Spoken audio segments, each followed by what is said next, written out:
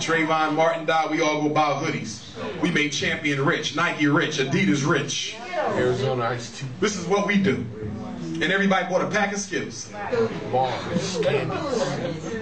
Didn't even know Skittles was giving money to Zimmerman's defense. Ah. White people work together.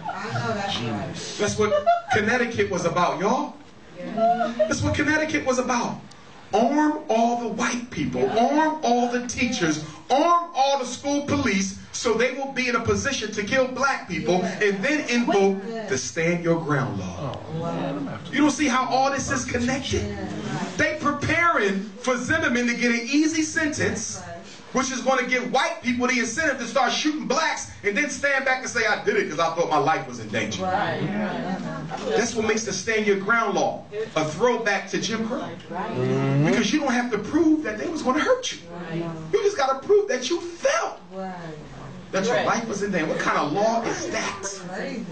And half the states in America now have either adopted or are considering adoption of stand your ground.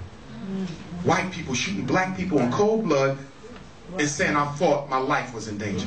Y'all heard about the brother, another one in Florida at the gas station with his woman. White man came out there and told him to turn his music down. He told the white man where to go. White man opened fire. Blew his head off. And guess what the white man saying? Stay on your ground. They said, how? He said, because I thought he was reaching in his glove compartment for a gun. All this is connected. Connecticut is connected to the Zimmerman case.